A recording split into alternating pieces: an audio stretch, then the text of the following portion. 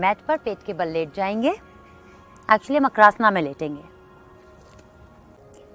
फिर धीरे धीरे अपने दोनों पैरों को, दोनों पैरों के घुटनों को मोड़ेंगे और आपकी जो ही then release your arm and grab your इधर एंकल और फुट और बिग टो सिर्फ़ आपका belly button has to be on the floor so inhale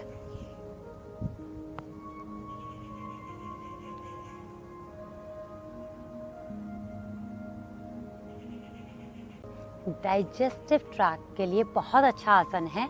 आपकी बॉडी से टॉक्सिन्स को रिमूव करता है क्योंकि इसमें बैक बेंड है और आपका स्टमक भी स्टिमुलेट हो रहा है। इसकी वजह से आपके जो इंटरनल ऑर्गन्स हैं, उनकी फंक्शनिंग काफ़ी अच्छी होती है, जिसकी वजह से आपके वेट गेन में काफ़ी हेल्प होती है।